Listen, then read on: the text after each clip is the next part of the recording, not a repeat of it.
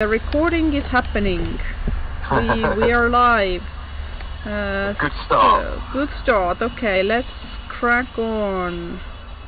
And we are not recording uh, the screen. Instead, I am taking all our brilliant thoughts and I might add some images to them later. So it's like a podcast or whatever. Brilliant thoughts might be overselling it. so like today's agenda is to continue working on Nali and Scribe, codename Steve, in collision course and this is where we have we have already put them together we have already um, I think this is uh, let's let's begin from the point where we have already sent them off from uh, from Svalbard. So it's maybe they are just setting out, or maybe they are already en route. But basically, they they are no longer dealing with the station. They are now uh, interacting with each other. um, should I move the note that's like as they travel, initially each is in their own ship and they exchange messages, should I bring that into the Nile and Scribe situation? Yeah, yeah. Okay. So, if there are some notes elsewhere that should be here chronologically, then bring them over. Because I think at this point, this, this sort of them not being, well, them being on their own unique ships is the point where they're travelling and they're sort of doing their own research into the list and coming together occasionally to discuss what they found. Well, they are like you and me on Discord right now. They are in constant contact. So I I don't think there's much independent uh, uh, stuff going on. I think uh, what they discuss about the list or what they browse in the list happens on both of their screens, and they they're doing this together. Uh, it could be that Scribe uh, maybe analyzes something on his own and this gives me an idea. It could even be that uh, uh, that Scribe, I mean Steve. well, there's just one Scribe right now, so I'm going with Scribe.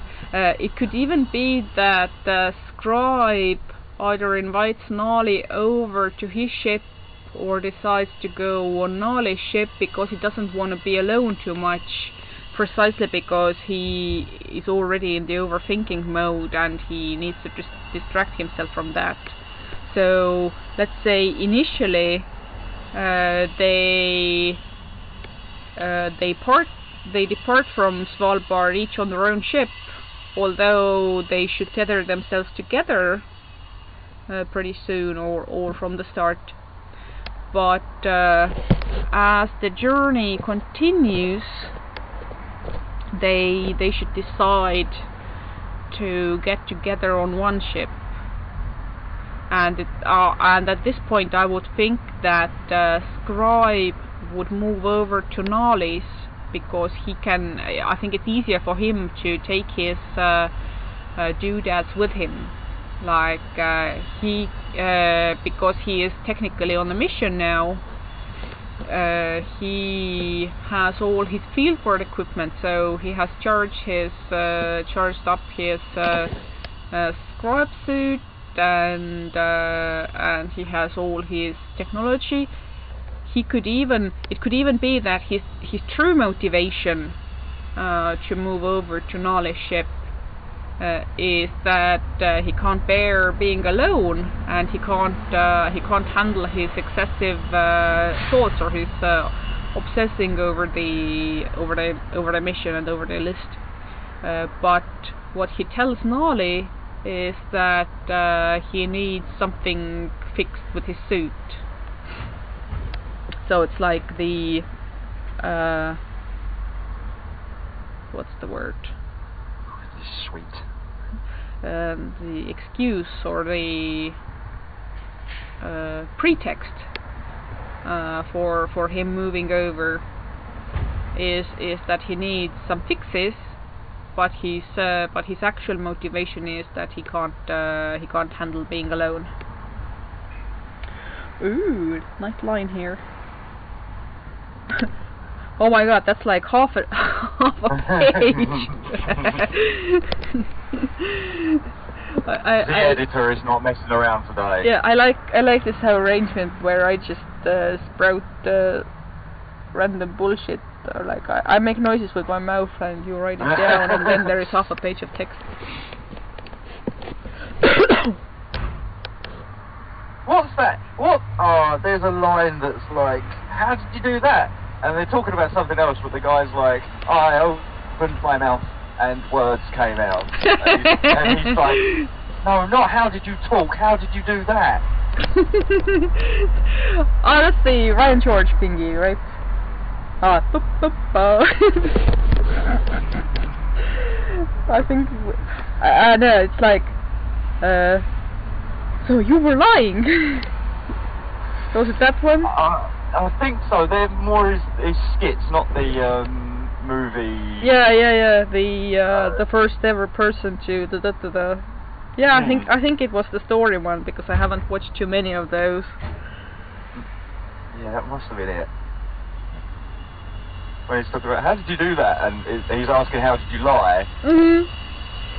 But the guy's like, well, I, I opened my mouth and made the sounds come out. Okay, I think got us off topic there real quick, sorry. Yeah. Uh. Uh. Focus.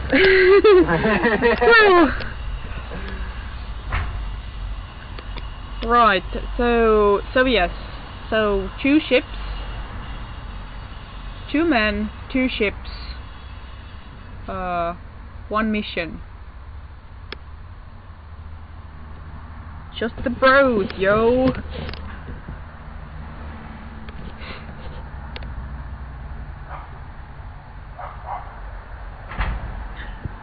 And What's going on? I, I don't know. Well, the neighbor's dog is barking. Uh, the other neighbors are building something. Uh, somebody is sewing something. So yeah, there's a lot of Busy stuff going on. Yeah, the, the usual. I think the neighbor's dog spotted an airplane or something. That's that's his favorite favorite sport, catching airplanes. Good luck with that. yeah. uh, so let me think. I'm extremely poorly equipped for this. uh, jumping ahead a little bit, hmm uh, I'm thinking that the situation might break into two chapters, uh, or at least uh, scenes from two different perspectives. So it's like one and the other. Uh, so there will be uh, there will be Nali's perspective and Scribe's perspective. Now this is of course since they are actively uh, digging into the list now and they are actively uh, actively going over some names I think we're gonna have to begin uh, adding things to the list ourselves so like Mhm. we, we, we have to start taking notes on, on the list and also on some of the uh, quote unquote unlucky entries in there. Uh, this could actually happen in a separate document like this the because in the end the list is sort of independent from what the guys are doing and we need to use it in several times so maybe start a new document in the collision course folder Okay. New document. new document Yep. Created and shared. yoink and The list. the list yeah because we have other document or other note documents for separate things as well I'm just going to call it the list for now, and you can rename it as you see fit. I think the list is pretty good the list and it's in all caps, so you know serious Yes. business. we're mucking so- around One name we know for sure is on this list is Fortune Harbour. Yeah. Uh, can uh, can you offer some ideas why he is on the list, or like basically somebody's. So I'm I'm thinking like there is somebody's entry, and then uh, there could be like fictional notes about the person, and then there is what we know. Hmm. Move tab.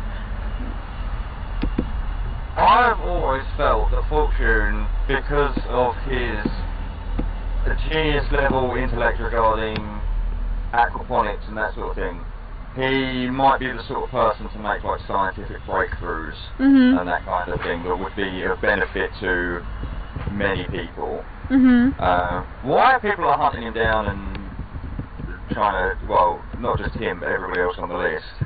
Um,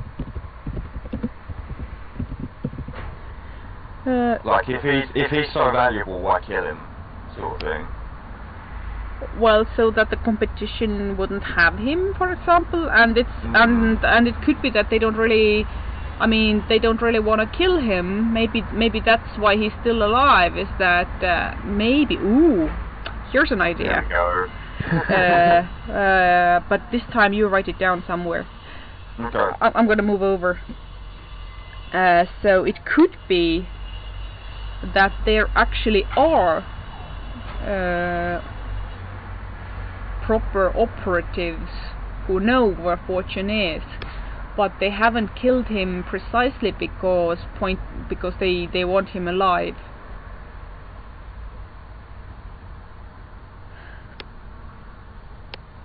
But there is another aspect to this. So, hmm, it could be uh, like uh, the uh, the dimension that we have to keep in mind here is the multiverse dimension or the the, the multiverse aspect. So, like, if this particular Fortune Hopper is killed off, it means that some other Fortune Hopper in some other variation is given is given precedence over him. So it could be that somebody is specifically weeding out uh, certain uh, variations because they they are trying to either implant somebody in a given reality or they are uh, trying to limit the the chaos factor or whatever. So it's like with each person. Let me uh, let me move down here. Uh, for each person of interest.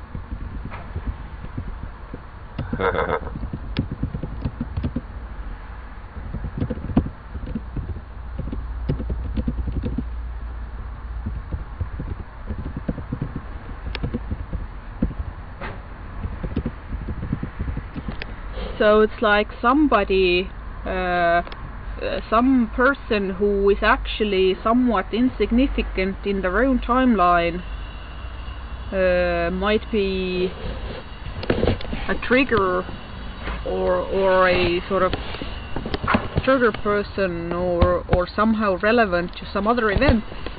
So it's like um, if you think about uh, if if you think about heist movies, think about a heist, and there is usually some seemingly random, unimportant person who is actually a who actually has a huge impact on how the other people behave, like. Uh, uh, like Eddie in Reservoir Dogs. yeah, or like i- in Mission Impossible, there is the clerk who uh, who is given uh, who uh, who who who has control to this r- one room, or like I don't know the taxi driver who can get you across the down across town uh, in less time than others, but the day that he is not uh, working, you're going to be late. So that that Mm. that sort of thing. So like the barista who can make that special blend that uh, the mafia boss's nephew likes. And and if you if you remove the barista, the mafia boss's nephew will not be happy. Uh, he might be yelling at the others, which in turn puts uh, Hitman on on the edge, which make him miss a, miss the shot, or you know that that's that sort of schemes. So it's like a, a linking reaction. yeah, yeah, like uh, like human Rube Goldberg uh, chain. So it could be that some people in the list. I'm, I'm gonna write this down myself. Okay, you got this.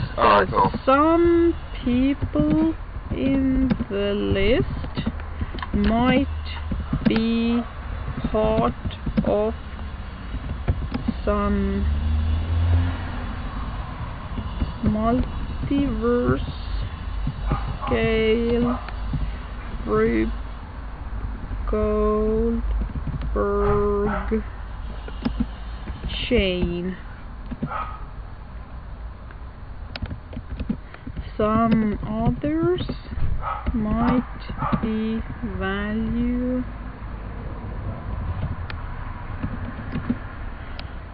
valuable slash of interest for other reasons. Point reasons vary.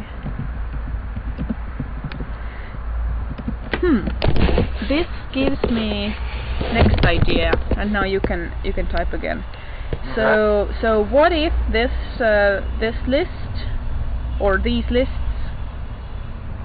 uh, have to do with a specific scheme or a specific uh, conspiracy. So it's like uh, it is some something specific that some servo wants to achieve, and and these people in the list are part of that scheme somehow, or like he he has he his plans rely on these people somehow and and it's not like my thing my, my thinking is that it is not a clear cut hit list but instead uh, it is indeed uh, the the common nominator is, is the goal and all of these people fit into this goal in a different manner.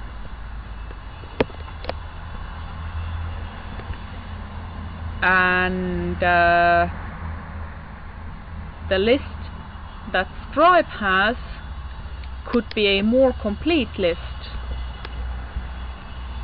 So that uh, the list that Nali has is only like one fraction of of what Scribe has.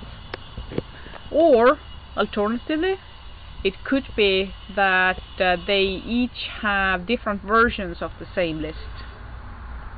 Like different I mean different reality versions. So that how how the same things have played out uh, differently in substreams so in either case or in either way there shall be multiverse shenanigans that that much I'm certain of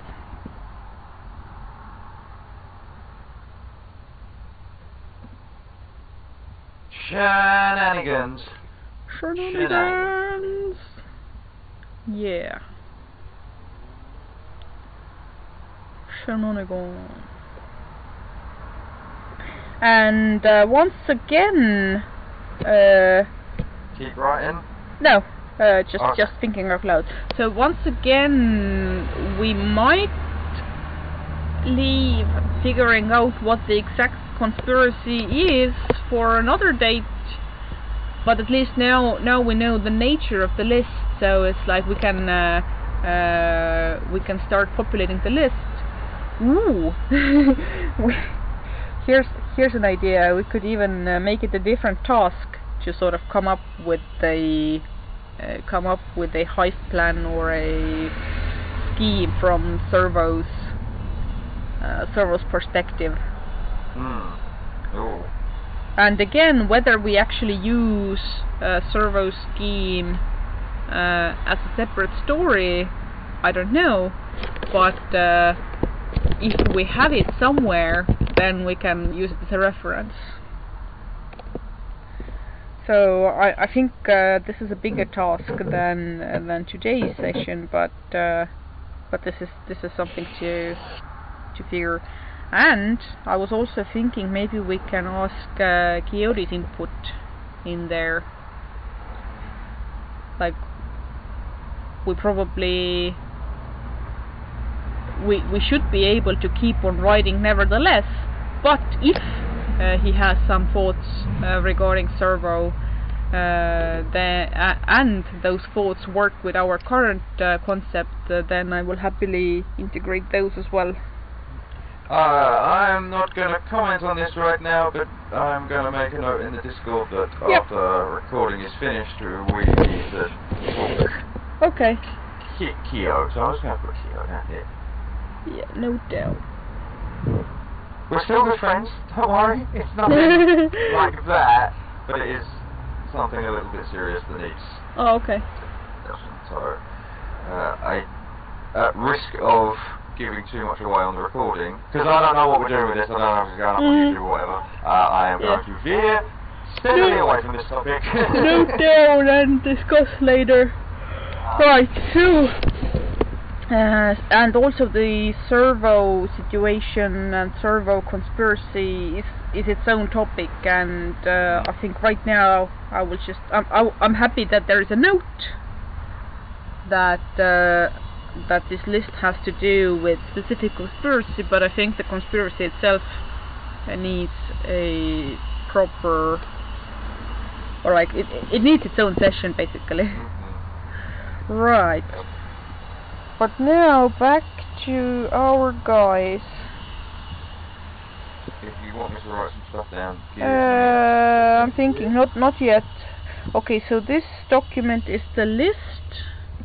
And now back to the situation. So I think maybe let's make some notes what you either of them want.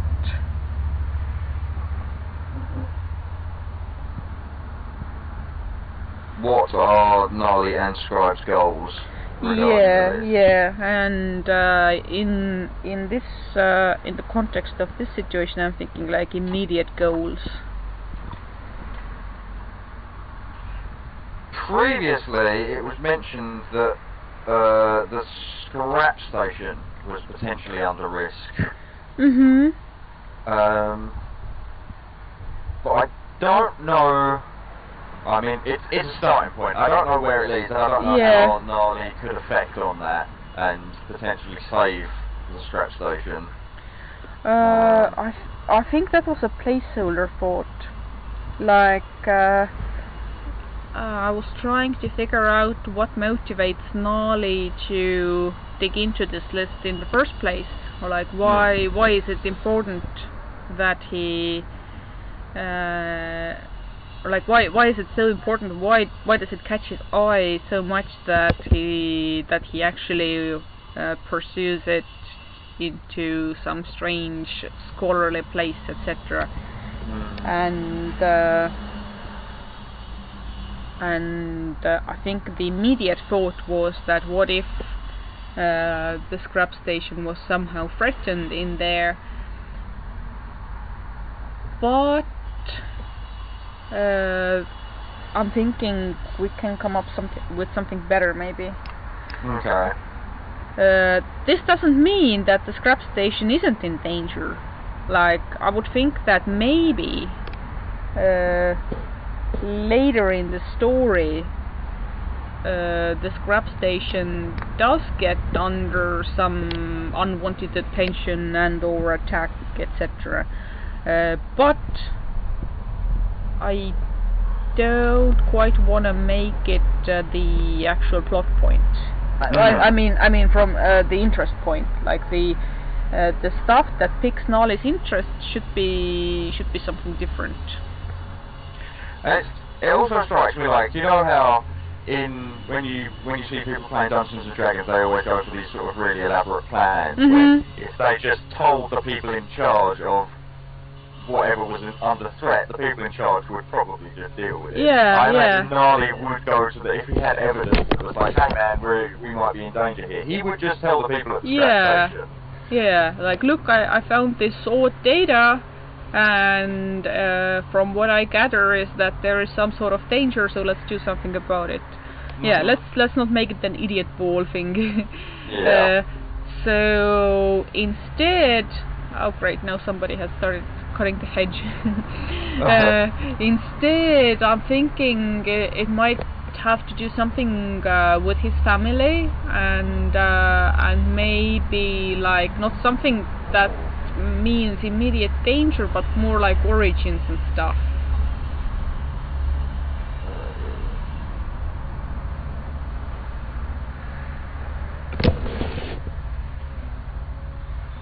Because again, uh, I would I would think that at first, uh, at first neither Nali or Scribe uh, should uh, should know for sure or or should treat this list as something dangerous. So like at first it is it is just something that has made them obsessed with uh, finding out something. And uh, the danger, the idea that oh wait look all of these people are dead, this is something that they find out uh, as a result of this situation.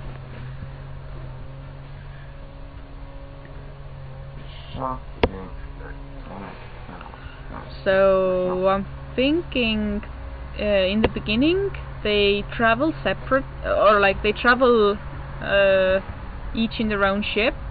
They review the list, they discuss the list. Uh, maybe they pick uh, their first destination or like the first uh, name to check out. They actually go there and then they will find out that this person uh, has recently and unpleasantly uh, ceased living.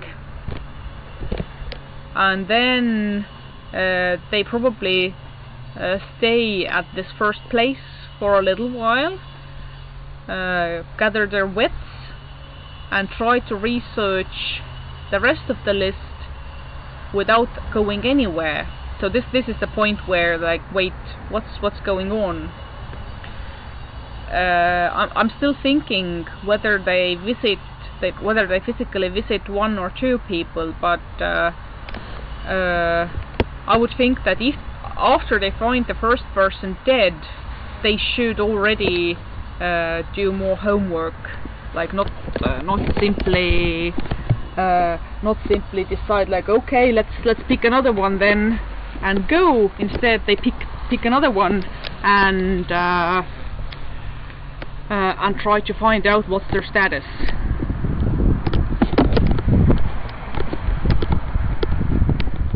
Oh, hang on, my alarm's going off. yes Oh. and I am changing places Right. Well, after I'm the first person dead, they do more homework. Instead of going after another person, they research.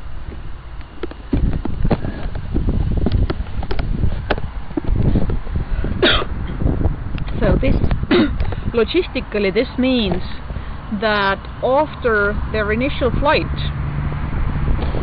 uh, they reach a place and then they stay in that place for a little while because they would need to you know get information from uh, from somewhere.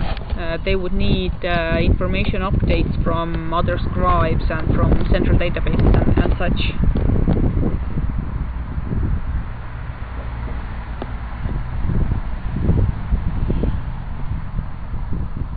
and it could easily be that the the place where they go, uh, this, this first rendezvous or first uh, first name to check out, uh, after they depart from there, this is where an alien scribe, uh, quote unquote, move together into one ship. or like this is where Scribe uh, requests to travel together in one ship instead of just uh, just messaging.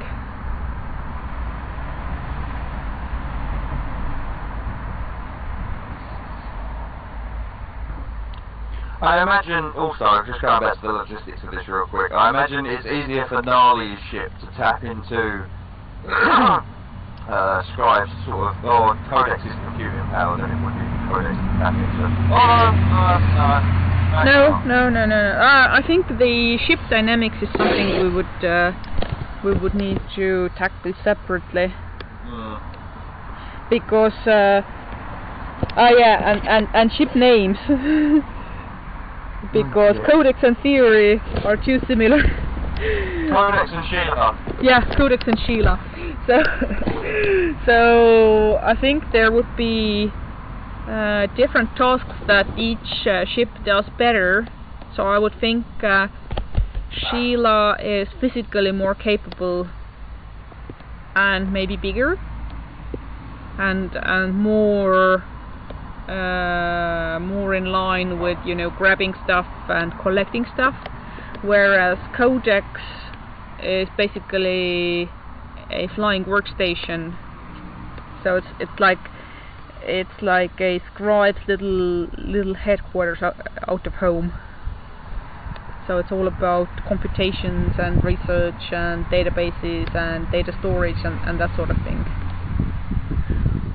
Oh, and a useful idea here is that we can already start using the three flavors that we have set aside for, for the three main characters.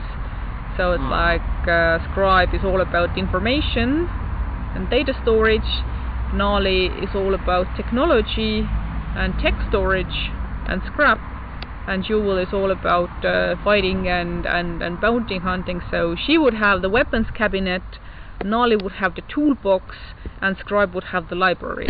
So that, that's the sort of simplifying metaphor here. Come with do drill again? Sorry. Uh, weapons cabinet, I think. Armory.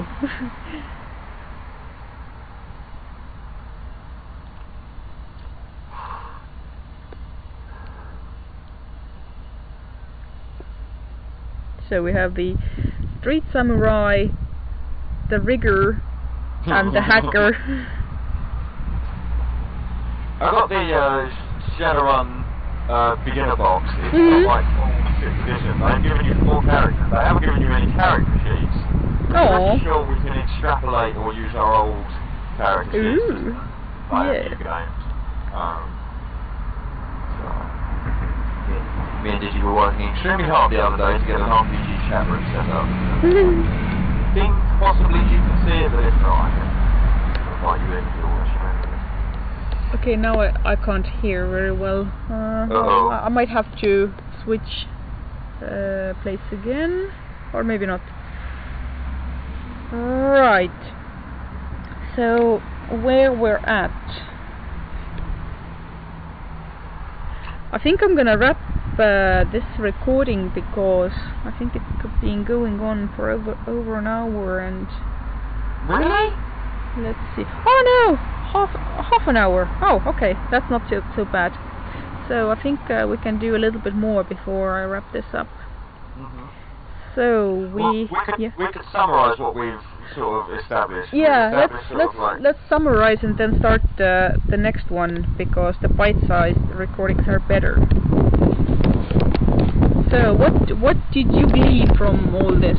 What what did you get from my yapping, me moving my mouth? the sounds coming out.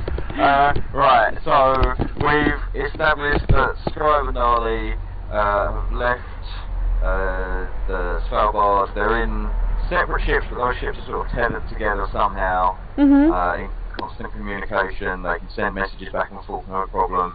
Uh, Nali and Scribe are sort of researching the list, uh, and they come together occasionally for conversation, or they just talk to one another over the communicator to discuss the list. They go in search of one of the people on the list, and when Mhm. they get there, they find out that that person has died in unfortunate circumstances.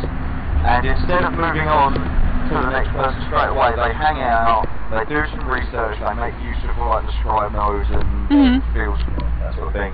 Um, and from there, I think they established that a lot of other people on the list are either MIA, in unfortunate circumstances. So they're not just chasing after dead ends all the time. Mhm. They've sort of sat and thought about it now. Uh, and that potentially makes them ask questions like, well, what's going on? What's what, Mhm. what is happening? What's the larger conspiracy?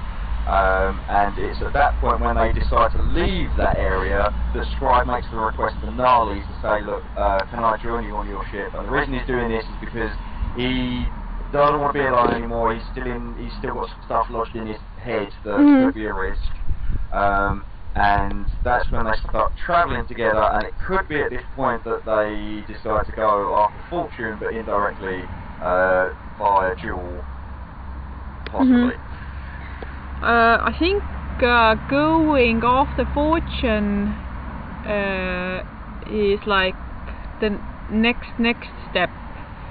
Right. So, so it's like after after they have after they have uh, found their first uh, person of interest and found that this person is dead, then there should be like a little bit of downtime uh, in wherever they are while the information arrives, or like while, while they make cure cures cures cures uh, while while they get the, their data in line.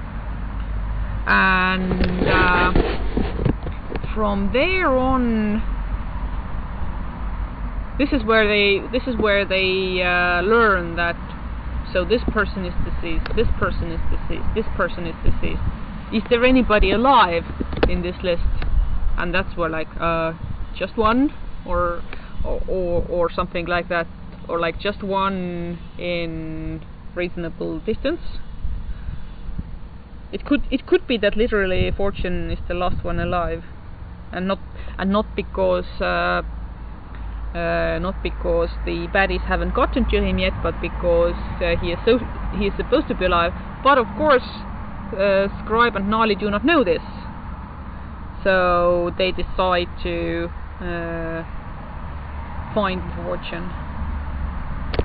But yeah, I think uh, it it it basically leads to uh, to where you said it's it's a question of pacing, like how much how much uh, space and and and attention we give to each uh, stage.